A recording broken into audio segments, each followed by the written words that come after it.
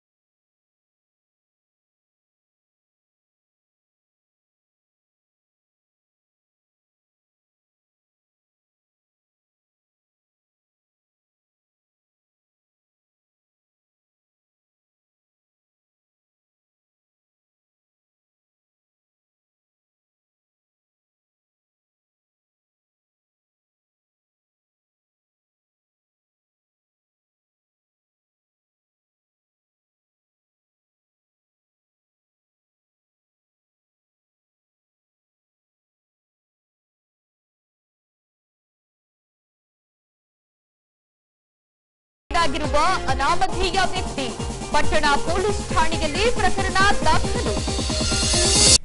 ಈಗ ವಾರ್ತೆಗಳ ವಿವರ.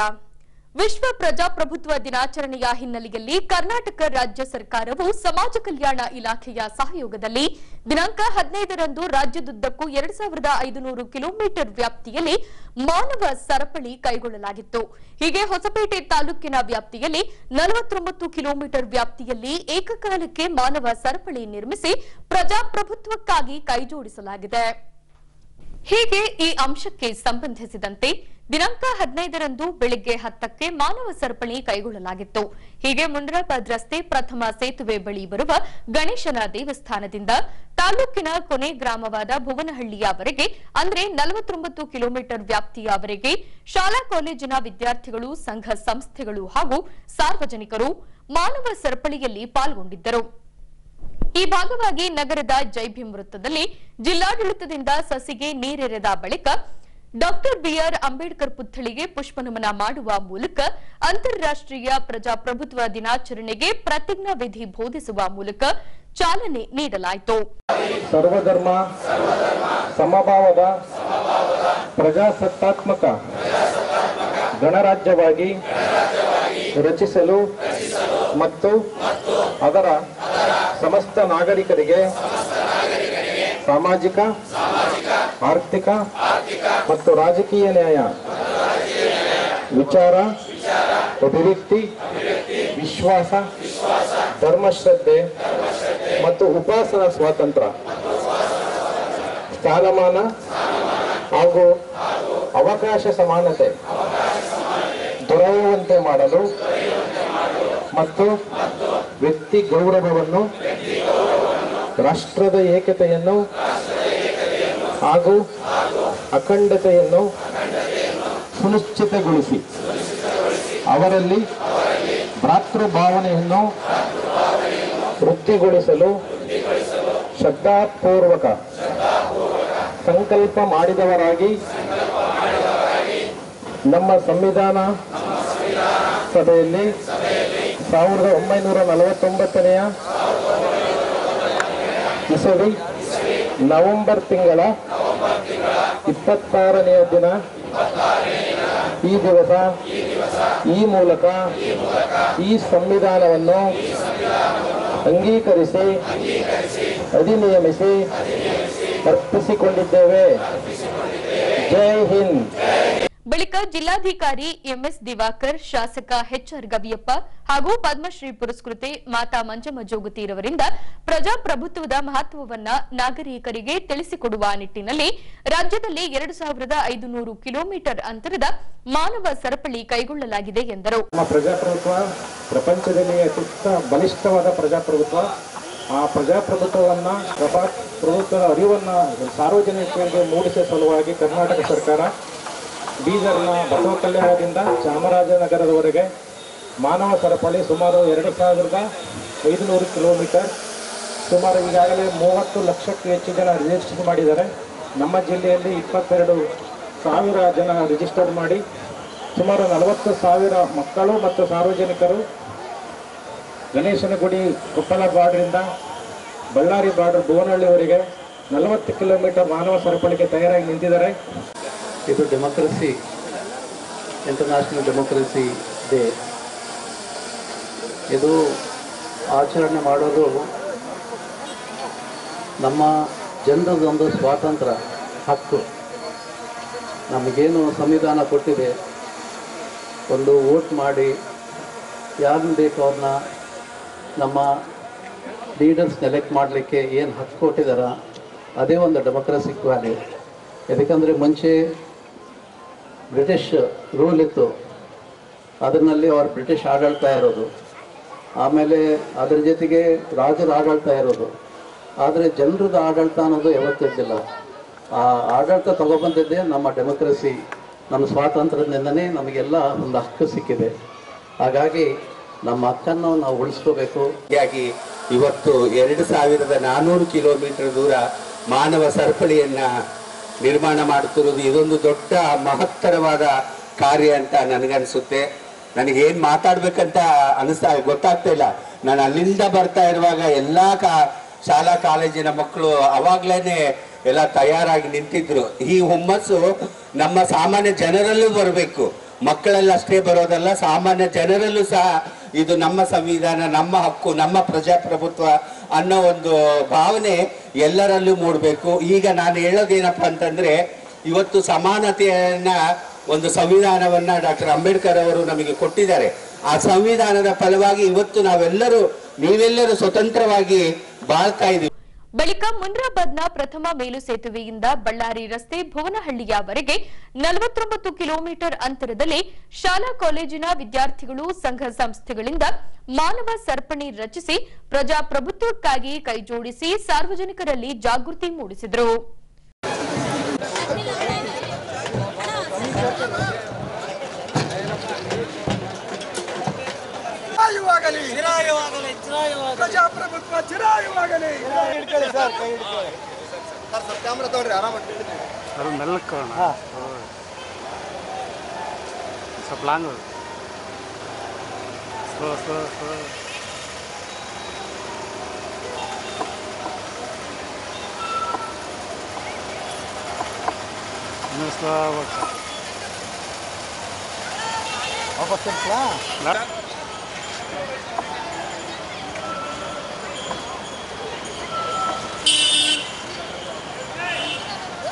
klar, klar.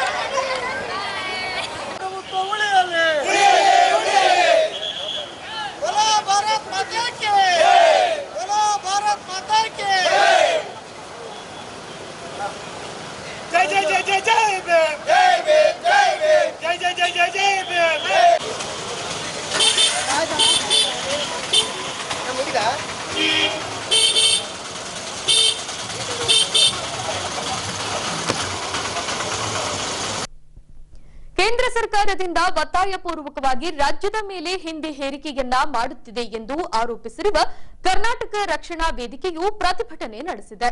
ಈ ಭಾಗವಾಗಿ ಜೈಬಿಂ ವೃತ್ತದಿಂದ ಡಾಕ್ಟರ್ ಪುನೀತ್ ರಾಜ್ಕುಮಾರ್ ವೃತ್ತದವರೆಗೆ ಪ್ರತಿಭಟನೆ ನಡೆಸಿ ಕೇಂದ್ರ ಸರ್ಕಾರದ ನೀತಿಯನ್ನ ಖಂಡಿಸಲಾಗಿದೆ.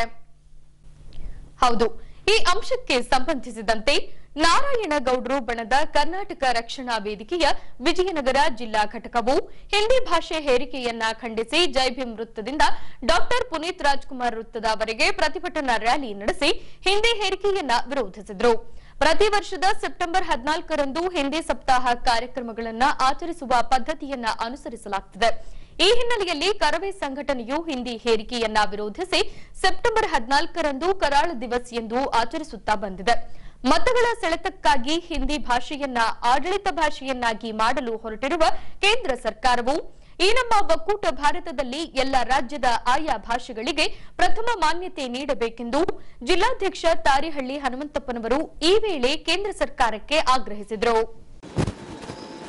ಸ್ನೇಹಿತರೆ, ಇಂದು ಸೆಪ್ಟೆಂಬರ್ ಹದಿನಾಲ್ಕರಂದು ಸುಮಾರು ವರ್ಷಗಳಿಂದ ಕೇಂದ್ರ ಸರ್ಕಾರ ಕೇಂದ್ರ ಸರ್ಕಾರದಲ್ಲಿ ಯಾವುದೇ ಪಕ್ಷ ಇರಲಿ, ಸತತವಾಗಿ ಸೆಪ್ಟೆಂಬರ್ ಹದಿನಾಲ್ಕರಂದು ಹಿಂದಿ ದಿವಸ, ಹಿಂದಿ ಸಪ್ತಾಹ ಅಂತ ಕಾರ್ಯಕ್ರಮಗಳನ್ನು ಕೇಂದ್ರ ಆಡಳಿತಕ್ಕೆ ಒಳಪಡುವಂಥ ಎಲ್ಲ ಇಲಾಖೆಗಳಲ್ಲಿ ಇಂದು ಆಚರಣೆ ಮಾಡೋ ಪದ್ಧತಿ ಈ ಪದ್ಧತಿ ವಿರುದ್ಧ ನಾವು ಸುಮಾರು ಇಪ್ಪತ್ತೈದು ವರ್ಷಗಳಿಂದ ನಮ್ಮ ನಾಯಕರಾದ ಟಿ ಎನ್ ನಾರಾಯಣಗೌಡರು ನಮ್ಮ ಸಂಘಟನೆ ವತಿಯಿಂದ ಇದನ್ನು ವಿರೋಧ ಮಾಡ್ಕೊಂತಾನೆ ಬರ್ತಾ ಇದ್ದೀವಿ.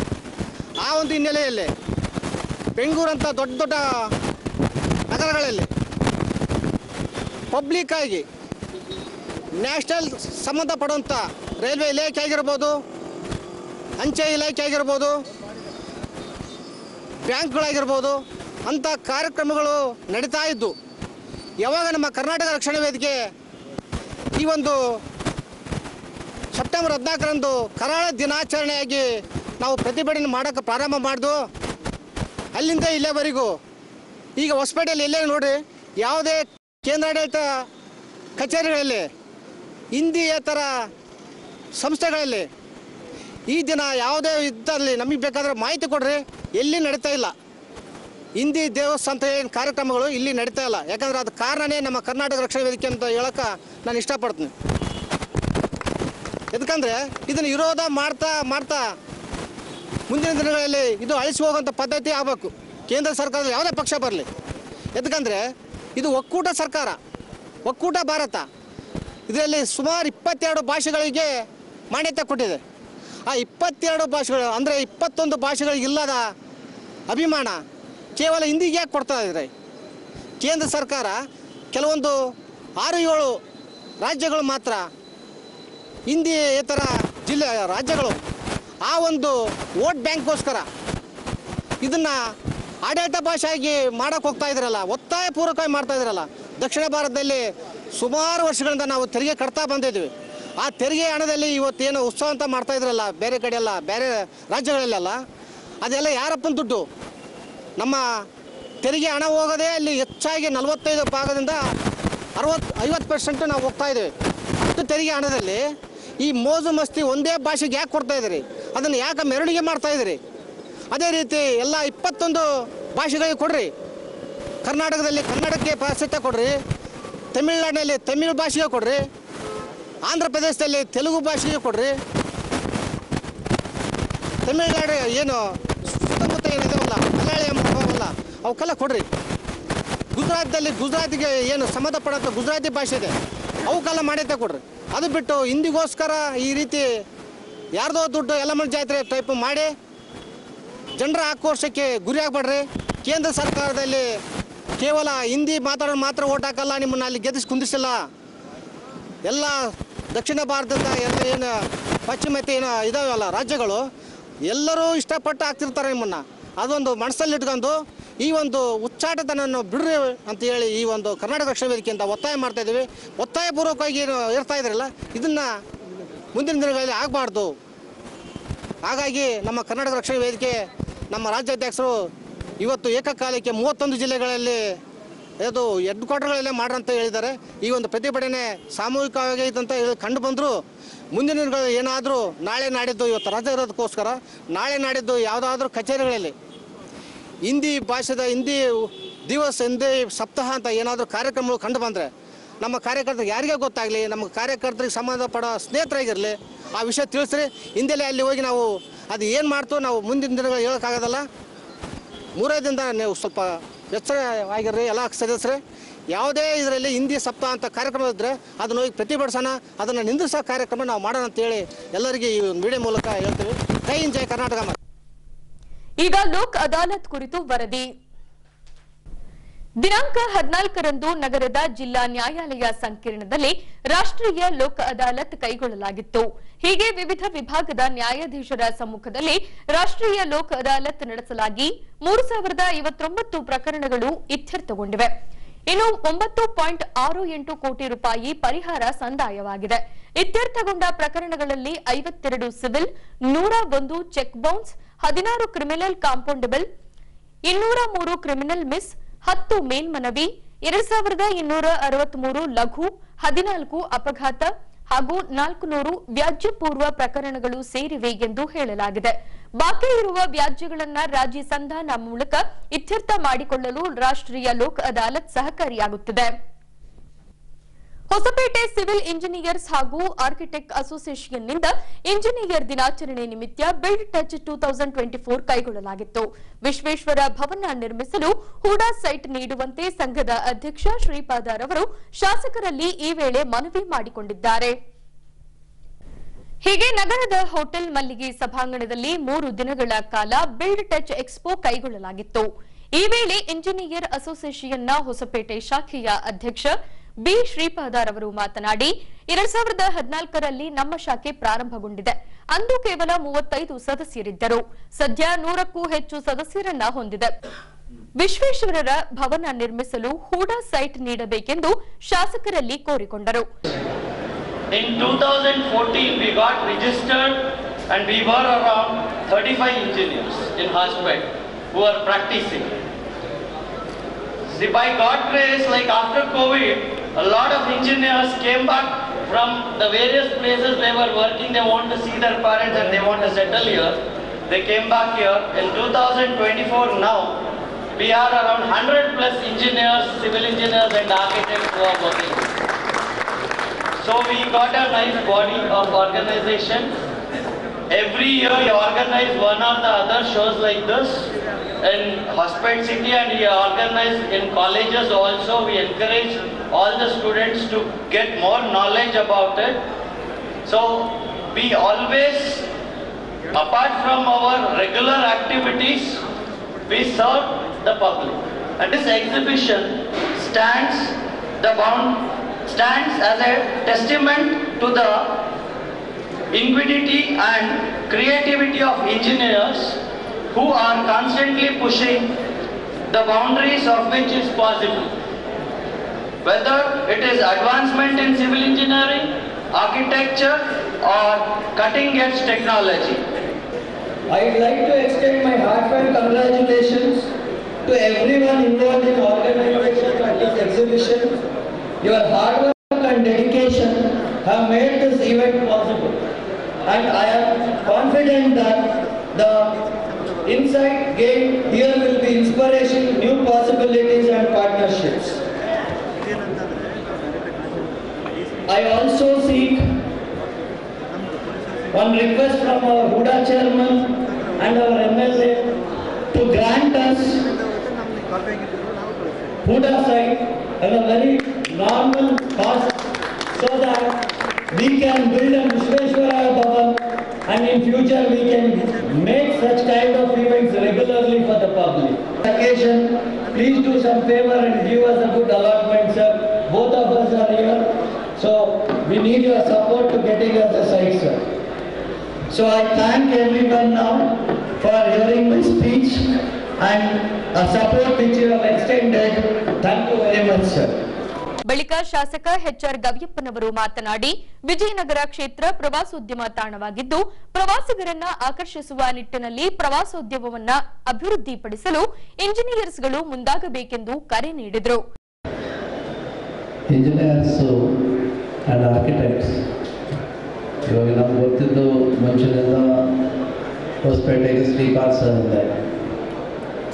ಅವರು ನಮಗೆ ಮನೆಗೆ ಇವತ್ತಿಂದಲ್ಲ ಒಂದು ಇಪ್ಪತ್ತು ವರ್ಷದಿಂದ ಮಂತ್ರಾಲಯ ದೇವಸ್ಥಾನಗಳಿರಲಿ ನಮ್ಮ ರಾಘವೇಂದ್ರ ಸ್ವಾಮಿ ದೇವಸ್ಥಾನ ಇರಲಿ, ಕಂಚಿ ಕಾಮಾಕ್ಷನ ದೇವಸ್ಥಾನ ಇರಲಿ ಯಾವಾಗಲಿ ದೇವಸ್ಥಾನಗಳಿಗೆ ಒಂದು ಆಕಾರ ಕೊಟ್ಟಿದ್ದಾನ, ಒಂದು ರೂಪ ಕೊಟ್ಟಿದ್ದಾನಂದರೆ ಅದು ನಮ್ಮ ಶ್ರೀಪಾದವರು ಕೊಟ್ಟಿದ್ದಾರೆ ಅಂತ ಹೇಳಿ ಹೇಳಲಿಕ್ಕೆ ನಾನು ಇಷ್ಟಪಡ್ತೀನಿ. ಸ್ಪೆಷಲಿ ಇವತ್ತು ನಮ್ಮ ಹತ್ರ ಎಷ್ಟು ಹಣ ಇರ್ಬೋದು, ಸಂಪಾದನೆ ಮಾಡೋ ಕೆಪಾಸಿಟಿ ನಮಗಿರ್ಬೋದು ಆದರೆ ಕಟ್ಟಕ್ಕೆ ಏನು ಬೇಕಾಗಿದೆ, ಅದು ಒಂದು ಇಂಜಿನಿಯರ್ಸ್ನಿಂದಲೇ ಆಗುತ್ತೆ. ಬಿಕಾಸ್ ಅವರು they are not engineers they are the doctors of a building ಅಂತ ಹೇಳ್ಬಿಟ್ಟು ಹೇಳಲಿಕ್ಕೆ ನಾನು ಇಷ್ಟಪಡ್ತೀನಿ.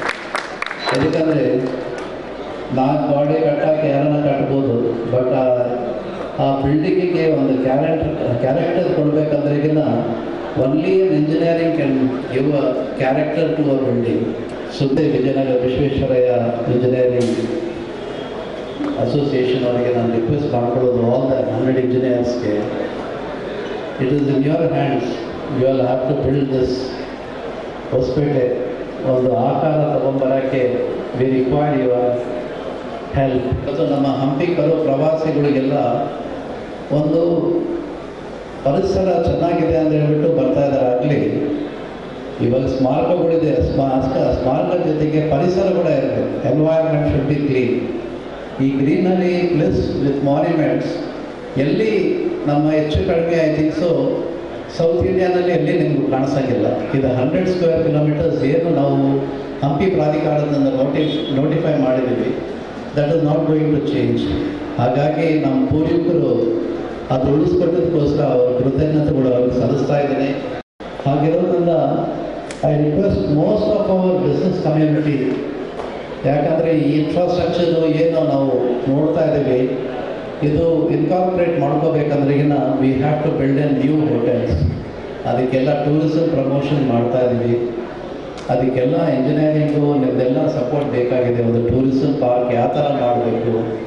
ಒಂದು ಟೂರಿಸಮ್ ವಿಲೇಜ್ ಮಾಡ್ತೇವೆ ಟೂರಿಸಮ್ ಯಾವ ಥರ ಇದು ಮಾಡಬೇಕು. Because we are planning to make about ten thousand rooms ಮಾಡಬೇಕಂದೇಳಿ ಇವತ್ತು ನಾವು ಒಂದು ಎರಡು ಸಾವಿರ ಎಕರೆ ಸ್ಟೀಲ್ ಪಾರ್ಕ್ ಮಾಡಬೇಕನ್ನೋದೊಂದು ಯೋಜನೆ ಇಟ್ಕೊಂಡಿದ್ದೀನಿ. ದಯವಿಟ್ಟು ಯಾರ್ಯಾರು ಇನ್ವೆಸ್ಟರ್ಸ್ ಬರ್ತಾರ ನಮ್ಮ ಬಿಸ್ನೆಸ್ ಕಮ್ಯುನಿಟಿ ಯಾರು ಹೊಸಪೇಟೆನಲ್ಲಿದ್ದಾರ ಎಲ್ಲರೂ ಭಾಗವಹಿಸಬೇಕು. ನಿಮ್ಗೆ ಏನು ಸಹಕಾರ ಬೇಕು, ನಾನು ಮಾಡಲಿಕ್ಕೆ ನಾನು ತಯಾರಿದ್ದೇನೆ ಅಂತ ಹೇಳ್ತಾ. ಇನ್ನು ಸಿಎಸ್ ಸೈಟ್ಗೆ ಅರ್ಜಿ ನೀಡಿದ್ದಲ್ಲಿ ವಾರದೊಳಗೆ ಮಂಜೂರು ಮಾಡಿಕೊಡಲಾಗುವುದೆಂದು ಹೂಡಾ ಅಧ್ಯಕ್ಷ ಹೆಚ್ಚಿನ ಇಮಾಮ್ ರವರು ಈ ವೇಳೆ ಇಂಜಿನಿಯರ್ ಅಸೋಸಿಯೇಷನ್ಗೆ ಭರವಸೆ ನೀಡಿದರು.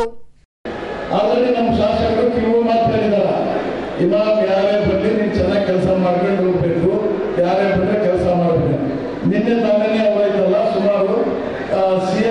ನಾವು ಒಂದು ಎಂಟು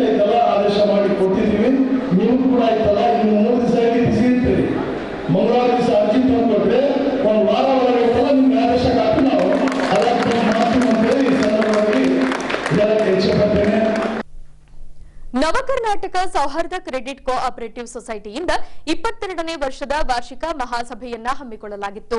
ಎರಡ್ ಸಾವಿರದ ಇಪ್ಪತ್ಮೂರು, ಇಪ್ಪತ್ನಾಲ್ಕನೇ ಸಾಲಿನಲ್ಲಿ ಒಟ್ಟು ಮೂವತ್ತೊಂದು ಲಕ್ಷ ರೂಪಾಯಿ ಲಾಭಾಂಶವನ್ನ ಘೋಷಿಸಲಾಗಿದೆ. ಹೀಗೆ ಪಟೇಲ್ ನಗರದಲ್ಲಿ ಕಾರ್ಯನಿರ್ವಹಿಸುತ್ತಿರುವ ನವಕರ್ನಾಟಕ ಸೌಹಾರ್ದ ಕ್ರೆಡಿಟ್ ಕೋಆಪರೇಟಿವ್ ಬ್ಯಾಂಕ್ನ ಸಭಾಂಗಣದಲ್ಲಿ ಇಪ್ಪತ್ತೆರಡನೇ ವಾರ್ಷಿಕ ಮಹಾಸಭೆಯನ್ನ ಹಮ್ಮಿಕೊಳ್ಳಲಾಗಿತ್ತು. ಈ ವೇಳೆ ಬ್ಯಾಂಕಿನ ಅಧ್ಯಕ್ಷ ಕೆ ವೀರಪ್ಪ ಮಾತನಾಡಿ, ನುರಿತ ಸಿಬ್ಬಂದಿಗಳ ಸಹಕಾರದಿಂದಾಗಿ ಬ್ಯಾಂಕ್ ಪ್ರತಿ ವರ್ಷ ಬೆಳೆದುಕೊಂಡು ಬರುತ್ತಿದೆ. ಇದರಿಂದಾಗಿ ಗ್ರಾಹಕರಿಂದ ಉತ್ತಮ ಪ್ರತಿಕ್ರಿಯೆ ಬರುತ್ತಿದೆ ಎಂದರು. ಈ ಸೊಸೈಟಿ ಸ್ಥಾಪನೆ ಮಾಡಿದ್ವಿ ನಾವು. ಈ ಸೊಸೈಟಿ ಸ್ಥಾಪನೆ ಮಾಡಿ ಐದು ಒಳ್ಳೆಯ ಶಾಖೆಗಳಿಗೆಲ್ಲ ಅದಕ್ಕೆಲ್ಲ ಎಲ್ಲರೂ ನುರಿತ ಸಿಬ್ಬಂದಿ ಇದ್ರು ಅವರಿಗೆಲ್ಲ ಇದು ಮಾಡಿ ಈ ಸೊಸೈಟಿಯಿಂದ ಇದು ಮಾಡಿದಾಗ ಹೆಡ್ ಆಫೀಸು ನವವಾರ ಫೈನಾನ್ಸ್ ಹೊಸಪೇಟೆಗೆ ಐತಿ. ಇದ್ರ ಬಿಸ್ನೆಸ್ ಎಲ್ಲ ಹಂಪಿ ಕಮಲಾಪುರದಾಗ ಐತಿ. ಹಿಂಗಾಗ್ತದೆ ಅದಕ್ಕೆ ಇದು ಬಿಸ್ನೆಸ್ ಬ್ರಾಂಚು ನಮ್ಮ ಎಲ್ಲದೂ ಎಲ್ಲ ಕಡೆಗೂ ಕೂಡ ಸ್ಥಾಪನೆ ಮಾಡಿದಾಗ ಯಾಕಂದ್ರೆ ನುರಿತ ಸಿಬ್ಬಂದಿ ಇರೋಲ್ಲ ಹಿಂಗಾಗಿ ಇದ್ರ ವ್ಯವಹಾರ ಬೆಳಕಂತ ಬೆಳಕಂತ ಬೆಳಕಂತ ಈಗಿನ ಈ ಸ್ಟೇಜ್ ಈ ಮಟ್ಟಕ್ಕೆ ಬಂದಿದೆ ಈಗ. ಇನ್ನು ಸಭೆಯ ಬಳಿಕ ಬ್ಯಾಂಕಿನ ಪ್ರಧಾನ ವ್ಯವಸ್ಥಾಪಕರಾದ ಕಲ್ಲಯ್ಯ ಶಿವಪೂಜಾರವರು ಮಹಾಸಭೆಯ ನಂತರ ವಿಜಯನಗರ ವಾಹಿನಿಯೊಂದಿಗೆ ಮಾತನಾಡಿ, ನಮ್ಮ ಬ್ಯಾಂಕ್ ಆರು ಶಾಖೆಗಳನ್ನ ಹೊಂದಲಾಗಿ ಒಂದು ಕೋಟಿ ಮೂರು ಲಕ್ಷವಿದ್ದು ಠೇವಣಿಗಳು ನಲವತ್ತು ಕೋಟಿ ಹದಿಮೂರು ಲಕ್ಷವಿದೆ. ಇಪ್ಪತ್ಮೂರು ಕೋಟಿ ಇಪ್ಪತ್ನಾಲ್ಕು ಲಕ್ಷ ಸಾಲವನ್ನ ನೀಡಲಾಗಿದೆ. ಹಾಗೂ ಪ್ರಸಕ್ತ ಆರ್ಥಿಕ ಸಾಲಿನಲ್ಲಿ ನಮ್ಮ ಬ್ಯಾಂಕ್ ಮೂವತ್ತೊಂದು ಲಕ್ಷ ಲಾಭಾಂಶವನ್ನ ಹೊಂದಿದೆ ಎಂದು ತಿಳಿಸಿದ್ದಾರೆ. ಎಪ್ ಇಪ್ಪತ್ತ್ಮೂರು ಇಪ್ಪತ್ನಾಲ್ಕನೇ ಸಾಲಿನ ಇಪ್ಪತ್ತೆರಡನೇ ವಾರ್ಷಿಕ ಮಹಾಸಭೆ, ಷೇರು ಬಂಡವಾಳ ಒಂದು ಕೋಟಿ ಮೂರು ಲಕ್ಷ ನಲವತ್ತೇಳು ಸಾವಿರದ ಒಂಬೈನೂರು, ಠೇವಣಿಗಳು ನಲವತ್ತು ಕೋಟಿ ಹದಿಮೂರು ಲಕ್ಷ ಎಂಟು ಸಾವಿರದ ಮೂರುನೂರ ಎಪ್ಪತ್ತೊಂದು, ಸಾಲಗಳು ಇಪ್ಪತ್ತ್ಮೂರು ಕೋಟಿ ಇಪ್ಪತ್ನಾಲ್ಕು ಲಕ್ಷ ಅರವತ್ತು ಸಾವಿರದ ಐನೂರ ಎಪ್ಪತ್ತ್ಮೂರು ದುಡಿಯುವ ಬಂಡವಾಳ ನಲವತ್ತೇಳು ಕೋಟಿ ಮೂವತ್ತಾರು ಲಕ್ಷ ತೊಂಬತ್ತಾರು ಸಾವಿರದ ತೊಂಬತ್ತೈದು ರೂಪಾಯಿ ನಲವತ್ತು ಪೈಸಾ. ಲಾಭ ಮೂವತ್ತೊಂದು ಲಕ್ಷ ಆರು ಸಾವಿರ ಮೂರುನೂರ ಇಪ್ಪತ್ತಾರು ರೂಪಾಯಿ ಹತ್ತೊಂಬತ್ತು ಪೈಸಾ. ಲಾಭಾಂಶ ಹಂಚಿಕೆ ಶೇಕಡ ಒಂಬತ್ತರಷ್ಟು ಮಾನ್ಯ ಸದಸ್ಯರಿಗೆ ನೀಡಲಾಗಿದೆ. ಇಪ್ಪತ್ತೊಂದು ವರ್ಷದಿಂದ ಸತತ ಲಾಭ ಗಳಿಸುತ್ತಾ ನಮ್ಮ ಸಹಕಾರಿಯು ಮುಂದೆ ನಡೆಯುತ್ತಿರುತ್ತದೆ. ಈಗ ಮೃತದೇಹದ ಕುರಿತು ವರದಿ. ಈ ಭಾವಚಿತ್ರದಲ್ಲಿರುವ ವ್ಯಕ್ತಿ ದಿನಾಂಕ ಹದಿಮೂರರಂದು ಹೊಸಪೇಟೆ ಬಸ್ ಡಿಪೋದ ಬಳಿ ಯಾವುದೋ ಕಾರಣದಿಂದ ಸಾವಿಗೀಡಾಗಿದ್ದಾನೆ. ಈ ಶವವನ್ನ ಗಮನಿಸಿದ ಕೊರನಾಡ ಕಲಿಗಳ ಕ್ರಿಯಾಶೀಲ ಸಮಿತಿಯ ಕಾರ್ಯದರ್ಶಿ ಕಲಂದರ್ ರವರು ಶವವನ್ನ ನೂರಹಾಸಿಗೆ ಆಸ್ಪತ್ರೆಗೆ ಸಾಗಿಸಿ ಪಟ್ಟಣ ಪೊಲೀಸ್ ಠಾಣೆಗೆ ಮಾಹಿತಿ ರವಾನಿಸಿ ದೂರು ದಾಖಲಿಸಿದ್ದಾರೆ. ಹೀಗೆ ಶವ ಪರೀಕ್ಷಾ ಕೊಠಡಿಗೆ ಆಗಮಿಸಿದ ಪಟ್ಟಣ ಪೊಲೀಸ್ ಠಾಣೆಯ ಅಧಿಕಾರಿಗಳು ಅನಾಮಧೇಯ ಶವವನ್ನ ಪರಿಶೀಲಿಸಿ ದೂರು ದಾಖಲಿಸಿಕೊಂಡಿದ್ದಾರೆ. ಬಿಳಿ ಬಣ್ಣದ ಟೀ ಶರ್ಟ್ ಧರಿಸಿದ್ದು ಅದರ ಮೇಲೆ ಪ್ಲಾನೆಟ್ ಜಿಮ್ ಎಂದು ಮುದ್ರಿಸಲಾಗಿದೆ. ಅದೇ ರೀತಿ ಬಿಳಿ ಬಣ್ಣದ ಪ್ಯಾಂಟ್ ಧರಿಸಿರುವುದು ಖಚಿತಪಡಿಸಲಾಗಿದೆ. ಇನ್ನು ಅನಾಮಧೇಯ ಮೃತದೇಹದ ವಾರಸುದಾರರಿಗಾಗಿ ಒಂದು ದಿನ ಕಾಯಲಾಗಿ ಯಾರೂ ಬಾರದ ಹಿನ್ನೆಲೆಯಲ್ಲಿ ಪೊಲೀಸ್ ಇಲಾಖೆ, ಸರ್ಕಾರಿ ನೂರು ಹಾಸಿಗೆ ಆಸ್ಪತ್ರೆ ಹಾಗೂ ನಗರಸಭೆಯ ಸಹಕಾರದೊಂದಿಗೆ ದಿನಾಂಕ ಹದಿನಾಲ್ಕರಂದು ಅಂತ್ಯ ಸಂಸ್ಕಾರ ನಡೆಸಲಾಗುತ್ತಿದೆ ಎಂದು ಕಲಂದರ್ ರವರು ಈ ವೇಳೆ ತಿಳಿಸಿದ್ದಾರೆ. ನಿನ್ನೆ ಮಧ್ಯಾಹ್ನ ಅಂದರೆ ಶುಕ್ರವಾರ ದಿನ ಹದಿಮೂರನೇ ತಾರೀಕಿಗೆ ಈ ನಗರದ ಬಸ್ ಡಿಪೋ ಸರ್ಕಲ್ನಲ್ಲಿ ನಾವು ಟೀ ಕುಡಿಯೋಕೆ ಮಧ್ಯಾಹ್ನ ಎರಡು ಗಂಟೆಗೆ ಹೋದಾಗ ಒಬ್ಬ ಅನಾಮಧೇಯ ವ್ಯಕ್ತಿ ಬಿದ್ದಿದ್ದ ಆ ಸರ್ಕಲ್ನಲ್ಲಿ. ಬಿದ್ದಾಗ ಜನ ಎಲ್ಲ ಭಾಳ ಸೇರಿದರು. ಆ ಟೈಮಿಗೆ ನಾನು ಏನಂತ ವಿಚಾರಿಸಿದಾಗ ಆ ವ್ಯಕ್ತಿ ಸಾವನ್ನಪ್ಪಿದಾನ ಅಂತ ಕೇಳಿದಾಗ ಹೇಳಿದರು. ಅವಾಗ ನಾನು ಅಕ್ಕಪಕ್ಕದಲ್ಲಿ ಕೇಳಿದಾಗ, ಈ ವ್ಯಕ್ತಿ ಯಾರೋ ಅಂತ ಗೊತ್ತಿಲ್ಲ ನಮಗೆ, ಈತ ಯಾರೋ ಅನಾಮಧೇಯ ವ್ಯಕ್ತಿ ಅಂತ ಹೇಳಿದಾಗ ನಾನು ಕೂಡಲೇ ಅಲ್ಲಿ ಒಂದು ಸ್ವಲ್ಪ ವಿಚಾರಿಸಿ ಟೈಮ್ ತಗೊಂಡು ಪಟ್ಟಣ ಪೊಲೀಸ್ ಸ್ಟೇಷನಿಗೆ ಮುಖಾಂತರ ತಿಳಿಸಿದಾಗ ಕೂಡಲೇ ಪಟ್ಟಣ ಪೊಲೀಸ್ ಸ್ಟೇಷನ್ ಪೊಲೀಸರು ಎಲ್ಲರೂ ಬಂದರು. ಬಂದಮೇಲೆ ಅಲ್ಲಿ ವಿಚಾರ ನೋಡಿದಾಗ ಈ ವ್ಯಕ್ತಿ ಯಾರು ನಮಗೆ ಇಲ್ಲಿ ಸಂಬಂಧಪಟ್ಟ ವ್ಯಕ್ತಿ ಅಲ್ಲ, ಎಲ್ಲಿಂದ ಬಂದು ಬಿದ್ದಾನ ಅಂತ ಹೇಳಿದಾಗ ಆ ವ್ಯಕ್ತಿ ಸಾವನ್ನಪ್ಪಿದ್ದು ದೃಢಪಟ್ಟಾಗ ಅವರು ಕರ್ಕೊಂಡು, ಒಂದು ಆಟೋದ ಕರ್ಕೊಂಡು ಈ ಮಾಜರ್ ರೂಮಿಗೆ ನಿನ್ನೆ ಶಿಫ್ಟ್ ಮಾಡಿದರು. ನಿನ್ನೆಲಿಂದ ಇವತ್ತಿನವರೆಗೆ ಯಾರನ್ನ ಅವ್ರು ಸಂಬಂಧಪಟ್ಟರು ಬರ್ತಾರಂತ ನೋಡಿದಾಗ ಯಾರೂ ಬಂದ ಪಕ್ಷದಾಗ ಇವತ್ತು ಪಟ್ಟಣದ ಪೊಲೀಸ್ ಸ್ಟೇಷನ್ನಲ್ಲಿ ನನ್ನ ಹೆಸರಲ್ಲೇ ಒಂದು ದೂರು ಕೊಡಿಸಿ ಈ ಪಟ್ಟಣ ಪೊಲೀಸ್ ಸ್ಟೇಷನ್ ಪೊಲೀಸರ ಸಹಾಯ ಮತ್ತು ನಮ್ಮ ಮುನ್ಸಿಪಾಲ್ಟಿ ಎಲ್ಲ ಸಿಬ್ಬಂದಿ ಸಹಕಾರ ಈ ನೂರು ರಾಜಕೀಯ ಆಸ್ಪತ್ರೆ ಸಹಕಾರದಿಂದ ಈ ವ್ಯಕ್ತಿಯನ್ನು ಇವತ್ತು ಅಂತಿಮ ಸಂಸ್ಕಾರವನ್ನು ಕಾರ್ಯಕ್ರಮವನ್ನು ಮುಗಿಸ್ತಾ ಇದ್ದೀವಿ ಈ ವ್ಯಕ್ತಿಯ ಚಹರೆ ಮತ್ತು ಈ ವ್ಯಕ್ತಿಯ ಭಾವಚಿತ್ರ ಯಾರಿಗಾದರೂ ತಮಗೆ ಕಂಡು ಬಂದರೆ ಕೂಡಲೇ ತಾವು ಪಟ್ಟಣ ಪೊಲೀಸ್ ಸ್ಟೇಷನ್ಗೆ ತಿಳಿಸಿ ಈ ವ್ಯಕ್ತಿ ಬಗ್ಗೆ ಮಾಹಿತಿ ಕೊಡಬೇಕೆಂದು ತಮ್ಮೆಲ್ಲ ಸಾರ್ವಜನಿಕರಲ್ಲಿ ಕೇಳಿಕೊಳ್ತೇನೆ. ಈಗ ಪೊಲೀಸ್ ಪ್ರಕಟಣೆ. ಎಷ್ಟೇ ಹಳೆಯ ಬಂಗಾರವಿರಲಿ ಪಾಲಿಶ್ ಮಾಡಿದ ಮೇಲೆ ಹೊಚ್ಚ ಹೊಸದೇ ರೀತಿಯಲ್ಲಿ ಕಾಣ್ತದೆ ತಾಯಿ. ನೋಡಿ.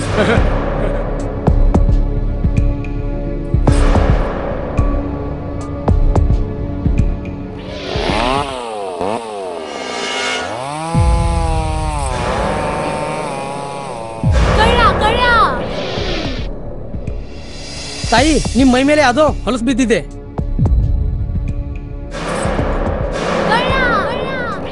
ಇಲ್ಲಿ ತಾಯಿ, ನಾನು ಪೊಲೀಸ್. ಅಲ್ಲಿ ಮುಂದೆ ದಾರಿಲಿ ದೊಡ್ಡ ಗಲಾಟೆ ಆಗಿದೆ. ಮತ್ ನೀವು ಇಷ್ಟೆಲ್ಲ ಒಡವೆ ಹಾಕೊಂಡು ತಿರುಗಾಡ್ತಾ ಇದ್ದೀರಾ? ಈ ಒಡವೆಗಳನ್ನ ಈ ವಸ್ತ್ರದಲ್ಲಿ ಕಟ್ಟಿ ಪರ್ಸ್ನಲ್ ಇಡಿ. ಹಾಕಿ ಹಾಕಿ, ಪರ್ಸ್ನಲ್ ಇಡೋಣ ಅಲ್ಲೇ ಮುಂದ್ಗಡೆ ಆಗಿದೆ.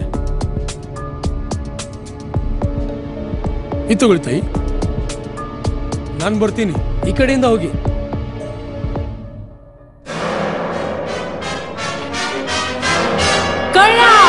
ಇಂತಹ ಮೋಸದ ಸಂಗತಿ ನಿಮಗೂ ನಡೆಯಬಹುದು. ತಮ್ಮ ಬೆಲೆ ಬಾಳುವ ಒಡವೆ ಆಭರಣ ವಸ್ತುಗಳನ್ನು ಎಚ್ಚರಿಕೆಯಿಂದ ಕಾಪಾಡಿ. ಯಾವುದೇ ಮಾತುಗಳಿಗೆ ಮರುಳಾಗಬೇಡಿ. ಸಂಶಯಾಸ್ಪದ ರೀತಿಯಲ್ಲಿ ಯಾರಾದರೂ ಕಂಡು ಬಂದರೆ ಸಮೀಪದ ಪೊಲೀಸ್ ಠಾಣೆಯನ್ನು ಸಂಪರ್ಕಿಸಿರಿ.